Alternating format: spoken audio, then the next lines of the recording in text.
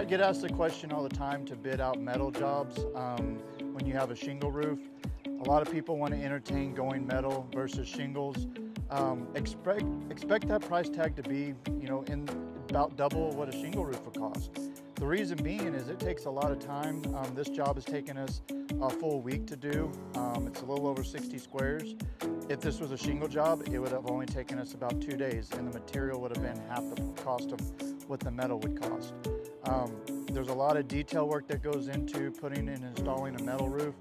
Um, that's what you're paying for. When that price tag is double and a lot of my clients go, man, I wasn't expecting that. Well, this is the reason why, because it, it, takes a lot of time and the crews that are experienced, they're gonna, you're gonna pay for that.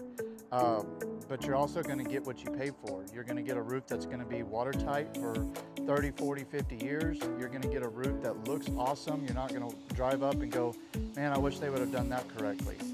Uh, here at Links, we take pride in the small little details um, in our jobs. Even if it's a shingle roof, we do take pride in our in every single job that we do. If it takes us a little bit longer to do it, that's great. The final product, I haven't had a customer go, I don't really like what y'all did, uh, or I don't like, you know, the way something looks. If there's something off, we're gonna catch it before that final walkthrough with the homeowner to make sure that everybody's happy. I just wanna let y'all know, um, if you're entertaining the metal uh, roof idea, expect that price tag to be, you know, double what a shingle roof would cost.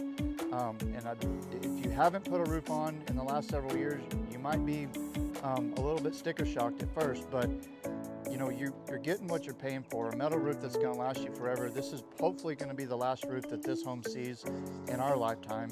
Uh, they'll be gifting it to their, their children um, whenever they're ready.